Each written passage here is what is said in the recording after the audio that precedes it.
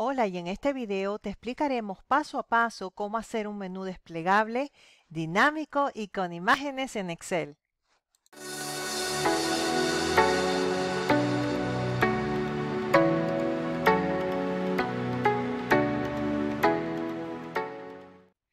En este ejemplo tenemos una lista de oficinas con sus respectivos gerentes o managers y si cambiamos las opciones vemos que los nombres van cambiando con la foto.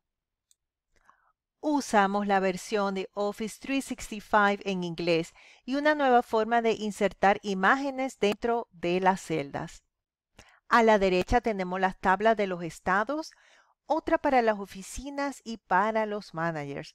Las tablas hacen todo esto 100% dinámico. Ya verán por qué. Para hacer este ejemplo más realista, pusimos en otra hoja aparte las fotos de cada manager.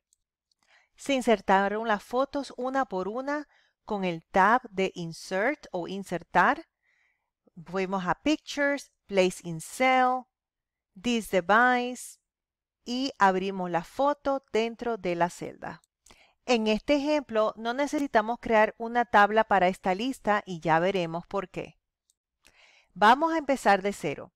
En una hoja nueva escribimos esta información para crear las tablas.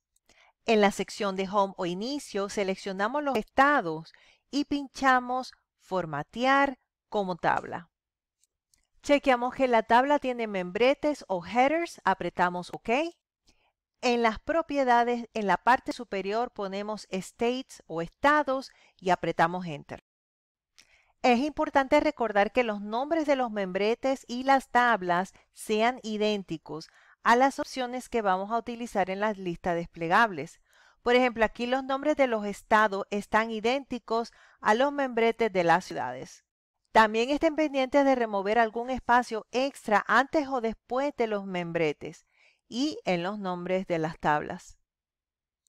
Continuamos con las ciudades. Seleccionamos y formateamos como tabla. Escogemos uno de los diseños. Mi tabla tiene membretes y cambiamos el nombre de la tabla en la esquina de arriba y la llamamos Cities o Ciudades. Presionas Enter. En la tabla de los managers vemos espacio extra en Miami y se lo quitamos primero. Ahora creamos la tabla como hicimos antes y la llamamos gerentes o managers desde la sección de propiedades. A esta tabla principal en la izquierda no tenemos que cambiarle el nombre y más adelante le podemos agregar más filas si es necesario. Los pasos que vas a ver ahora no son necesarios pero por experiencia propia pueden evitarte muchos errores más adelante. Seleccionamos la tabla de los gerentes. Vamos al tab de fórmulas, crear con lo que escogimos, create from selection, eliminamos la columna izquierda o left column y marcamos crear nombres basados en los valores de la primera fila o top row. No necesitamos la fila izquierda para validar. Repetimos este paso con las ciudades. Dejamos solo el top row como ven. Como un tip extra, si quieres puedes anotar el nombre de cada tabla como hicimos aquí para ayudarte cuando hagas la fórmula. Al final puedes quitarla si así lo quieres. Y aquí vamos a poner el nombre de los managers. Ahora vamos a crear la primera lista. Pinchamos la celda A4 debajo del estado. Volvemos al membrete de data por arriba, validación de datos, de nuevo, Data Validation y el criterio que usamos es de una lista. Dejamos marcadas estas dos opciones de ignorar vacíos o blanks y la lista en la celda. En el source ponemos igual indirect, abrimos paréntesis y seleccionamos los estados. Cerramos paréntesis y listo. Chequea la lista seleccionando cualquiera de los estados. Como es una tabla, si agrego otro estado como Utah, mira cómo sale. Eso en la lista izquierda. Lo mismo pasa con todas las tablas. Vamos a eliminar Utah para continuar. Para la lista de las oficinas o branches, ve a Data y Data Validation. Esta vez la lista mostrará las opciones en función del estado que escojamos. En Source ponemos igual Indirect, abrimos paréntesis y seleccionamos la tabla de las ciudades. Ahora vamos a escribir igual Indirect y vamos a hacer un pequeño cambio. Ahora vamos a ingresar el nombre de la tabla entre comillas, pero además vamos a insertar en corchetes las celdas rodeadas de amperios y comillas. Colocamos la referencia debajo para que la pueda ver mejor.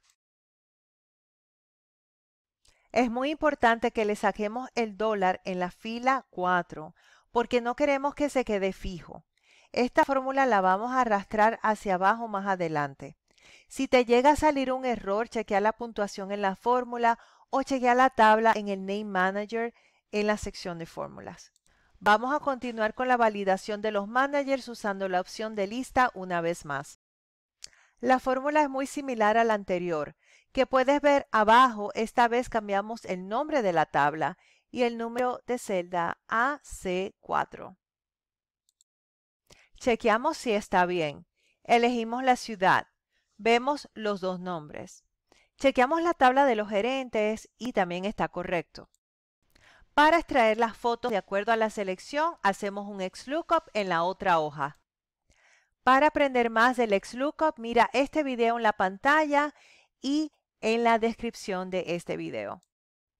Ponemos igual, XLOOKUP, presiona Tab o tabular el lookup value es a quien buscamos y es al gerente de la celda izquierda, seguido de coma. Lookup Array pregunta en qué columna está este nombre. Vamos a la hoja de fotos y seleccionamos la columna B entera, con nombres con otra coma. Return Array nos pide la columna o valor que queremos extraer. Pinchamos la columna C que tiene las fotos. Ahora cerramos paréntesis y apretamos Enter y las fotos aparecen.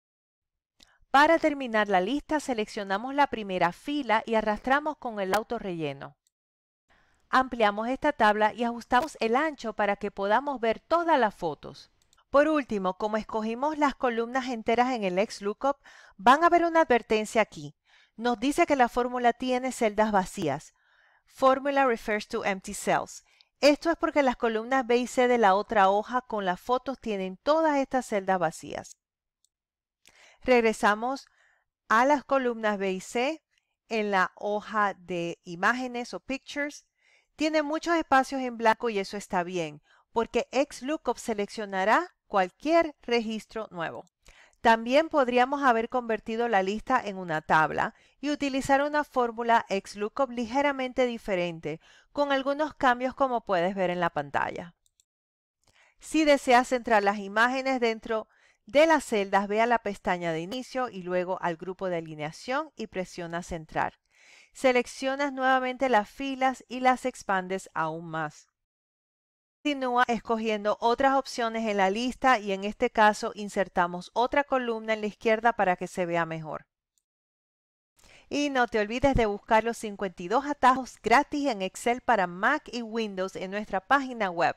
Busca el link en la descripción y gracias por estar aquí. Nos vemos en el próximo video.